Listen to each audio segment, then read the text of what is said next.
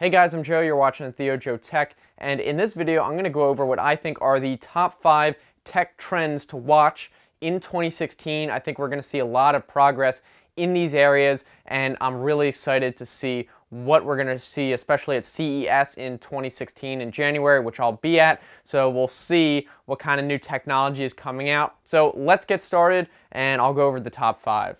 Number five is drones. Now, we've obviously heard a lot of talk about drones. Amazon is starting to kind of test delivery drones, and I think 2016 is really going to be the year where we might see some of the first uses of drones in significant quantities and frequency by Amazon. I also think we're going to see more talk about laws, specifically by the FDA, because drones are becoming much more popular than I thought they would be. They're, they're kind of becoming more household toys that a lot of people know about. Most everyone has heard about drones nowadays.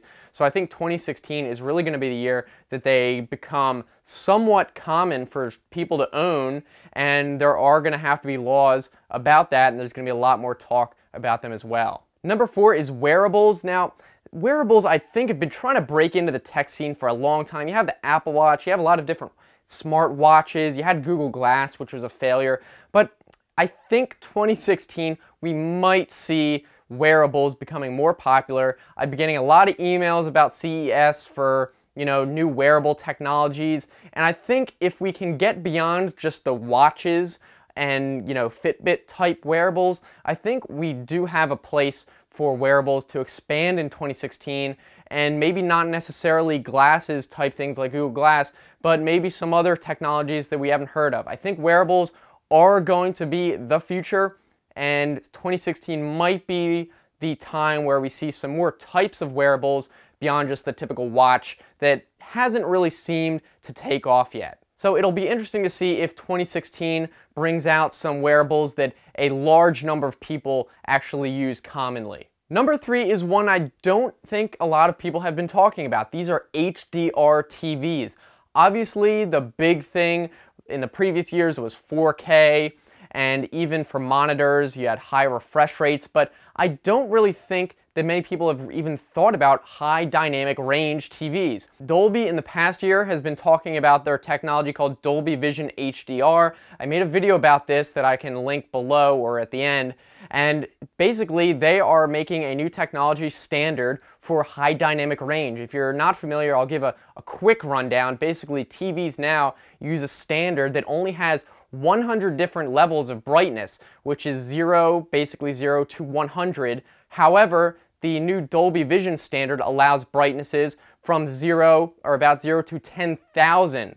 So you can imagine if you're looking at a room just around here, there's obviously more than 100 levels of brightness. So if a TV has a much higher dynamic range, it's going to make it look much more realistic. And I think a lot of new manufacturers are starting to kind of get into this high dynamic range market and I think CES that's going to be a big topic for TV manufacturers because we already had the refresh rate, we already had the resolution.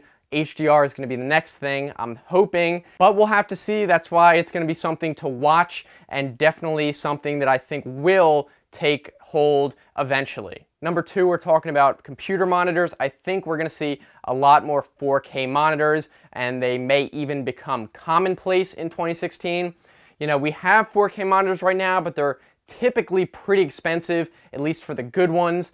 And also on the side, we on the other end, we have high refresh rate monitors up to 144 hertz.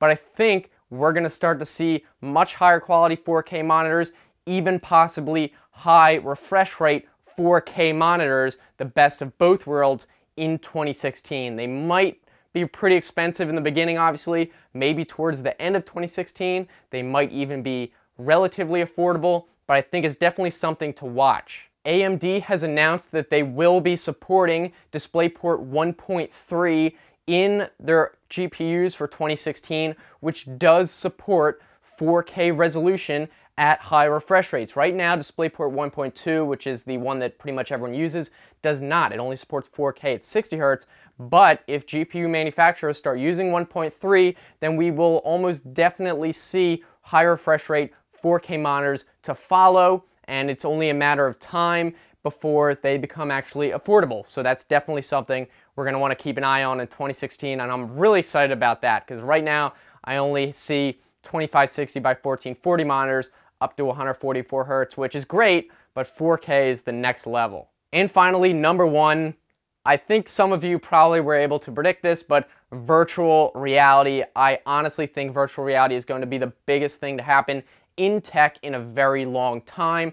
In 2016, we're having all big three virtual reality headsets released. We have the Vive by HTC and Valve, we have Project Morpheus by PlayStation, and then of course the Oculus Rift. I've been a big fan of virtual reality ever since I got the Oculus DK2 and I tried Project Morpheus as well and it was awesome. Have not tried the Vive yet, that's the only one I haven't tried, but everyone I have heard from says it's absolutely amazing, especially with the hand controller. So I think virtual reality is one of those things where you have to try it to realize how amazing it is. And I think once it's released into the market, it's gonna blow some people's minds and I think it's just gonna spread from there. Everyone who gets it is gonna tell all their friends about how cool it is.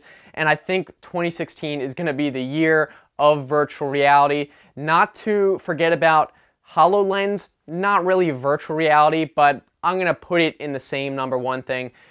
HoloLens is augmented reality. I think they're gonna release the dev kit for HoloLens in early 2016, and then by the end of 2016, we might see the final version of HoloLens. That's total speculation, but I think all this augmented reality, virtual reality is going to change a lot of things, and it's going to be a huge step forward, especially with high resolution panels for gaming, for watching TV, all sorts of stuff. Keep an eye on virtual reality. I don't think that's a opinion that I'm the only one that holds that, so I'm really excited about it. And those are just my top five, what I think are going to be the big tech trends, and I might have missed some, you know, some might just come out of left field that we have no idea about, but if you guys have any other ideas about something I missed, something I completely missed maybe, leave it in the comments section below and we can talk about all that down there and also about the stuff that I did mention. If you guys liked this video, be sure to give it a thumbs up so I know you guys enjoyed it. And if you want to check out some other videos, I'll put those on the right hand side. You can just click those or look in the description for the same link, like if you're on a phone. And if you want to subscribe, I make new videos three times a week, so I think it should be worth it. I'm looking forward to hearing from you guys either in the comments section below or on Twitter. So thanks for watching. I will see you next time. Have a good one.